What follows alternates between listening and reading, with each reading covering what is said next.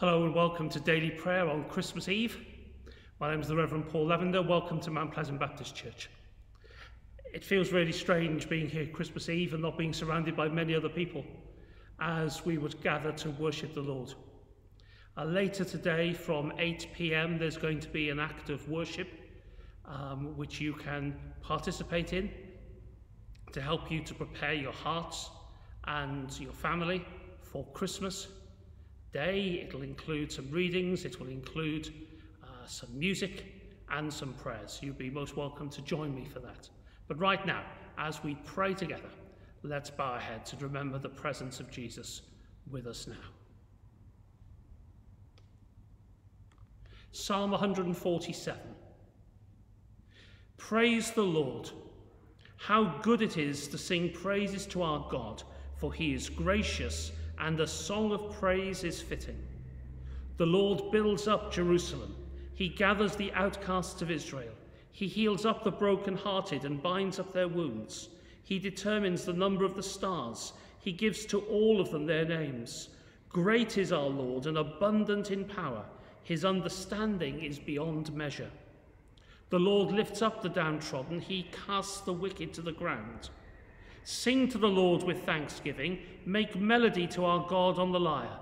He covers the heavens with clouds, prepares rain for the earth, makes grass grow on the hills. He gives to the animals their food, and to the young ravens when they cry. His delight is not in the strength of the horse, nor his pleasure in the speed of a runner, but the Lord takes delight in those who fear him, in those who hope in his steadfast love. Praise the Lord, O Jerusalem. Praise your God, O Zion, for he has strengthened the bars of your gates. He blesses your children within you. He grants peace within your borders. He fills you with the finest of wheat. He sends out his command to the earth. His word runs swiftly. He gives snow like wool. He scatters frost like ashes. He hurls down hail like crumbs. Who can stand before his cold? He sends out his word and melts them. He makes his wind blow and the waters flow. He declares his words to Jacob, his statutes and ordinances to Israel. He has not dealt thus with any other nation. They do not know his ordinances. Praise the Lord. But we thank God for his word to us and for his blessings upon us, his people. Let's pray together. Heavenly Father, as we await the birth of your Son, Jesus Christ, Give us a glimpse of the mystery of the Incarnation. Cause us to wonder that the Creator of the universe emptied himself of the splendour and glory of heaven and took upon himself the feeble frame of a fragile baby. Restore to us the ability to stop, the serenity to ponder, and the creativity to gaze in wonder at the Christ child. The radiance of the glory of God, the flawless expression of the divine nature, at God made man, God in human form, God manifesting himself with a vulnerability which asks to be touched and handled and seen and known and loved. And teach us this year to love you without inhibition, that this Christmas the glow in our hearts may bring joy to you, Father, Son, and Holy Spirit. Amen. Our reading from the Bible comes from the book of Titus, Paul's letter to Titus, from chapter 2, verses 11 to 14. For the grace of God has appeared, bringing salvation to all, training us to renounce impiety and worldly passions, and in the present age to live lives that are self controlled, upright, and godly, while we wait for the blessed hope and the manifestation of the glory of our great God and Saviour, Jesus Christ. It is He who gave himself for us, that he might redeem us from all iniquity and purify for himself a people of his own who are zealous for good works. Amen. Thanks be to God for his word. Jesus came that he might prepare us to do good works for him, to bring glory to his name.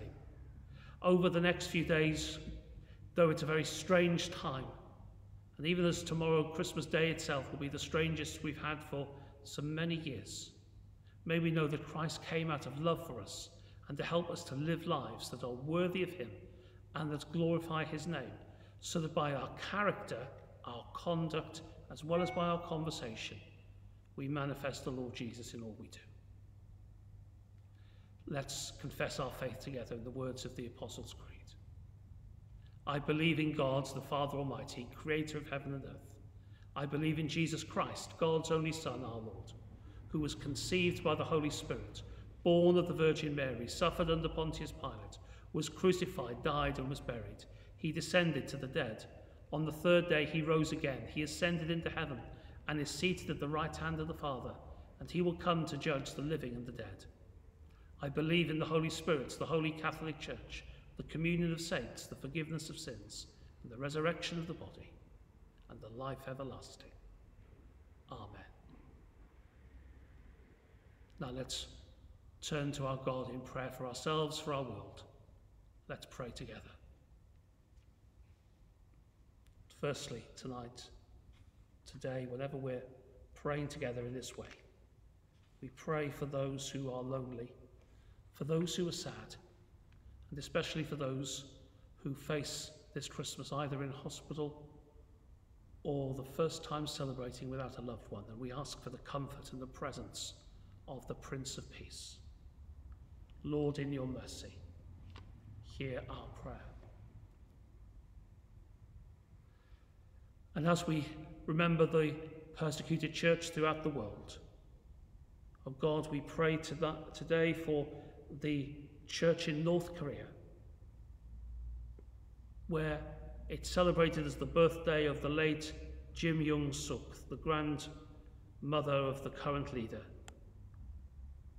Only secret Christians know about the birthday of Jesus Christ, our Lord.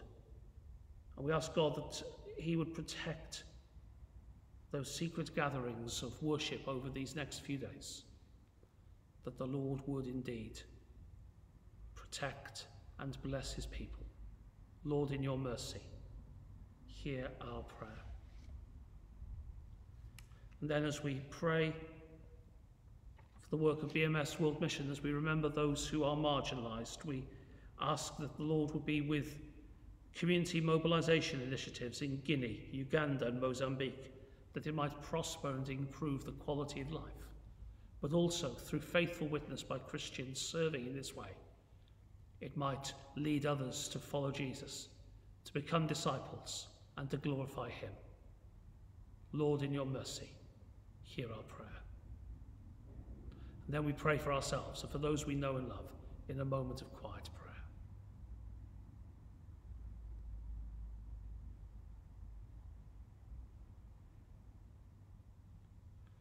Lord, in your mercy, hear our prayers. Let's share together in saying the Lord's Prayer. Our Father in heaven, hallowed be your name. Your kingdom come, your will be done on earth as it is in heaven. Give us today our daily bread and forgive us our sins, as we forgive those who sin against us. And lead us not into temptation, but deliver us from evil. For the kingdom, the power, and the glory are yours now and forever.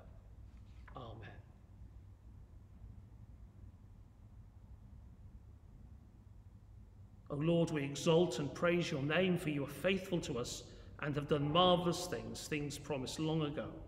For certain you are our God, we trust in you, and you save us through Jesus our Redeemer.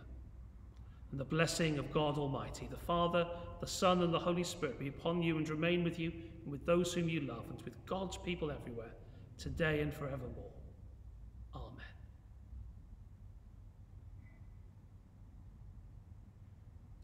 God bless you today. Trust that you will stay safe through the day. Please continue to pray for one another. If you're able to, pray for me. I look forward to joining you tomorrow for Christmas Day services. A reminder about the act of worship this evening that will be available from uh, 8 pm. You're welcome to join us in that celebration. But until we meet again, goodbye and God bless.